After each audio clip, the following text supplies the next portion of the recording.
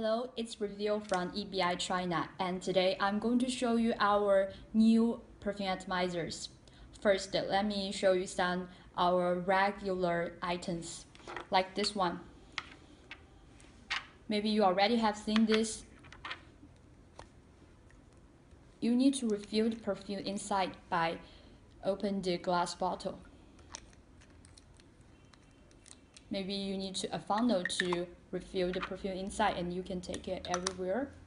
And or you maybe have seen this one as well, the two-step perfume atomizer. Also, you need to refill the perfume inside the glass bottle. And with better one, you can try to use the bottom refillable, like those two. 5 milliliter one they all have the window you can see how much you have the perfume inside. Or this one also bottom refillable and twist it up. But now we are going to tell you a new product. It's totally new different look. First uh, you don't think it's like a perfume atomizer. Maybe you think it's like a lipstick. And the color or, or the logo can be customized as you need let me show you. First open it. See. The outside look it's aluminum and inside with some plastic material. And also here it's very light. It's the PE material with the aluminum parts. Let me show you how to use it. See here are our full-size perfume bottle.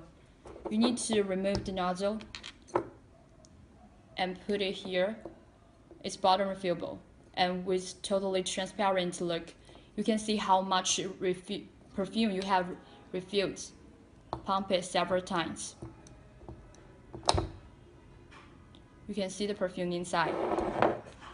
And put the tubes inside the case with, with much better sealing because you need to put it here.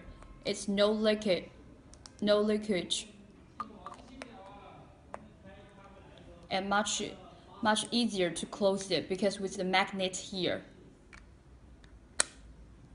Much easier to open it. Also the color and the logo can be customized as you need. So maybe you can try to change the color like this.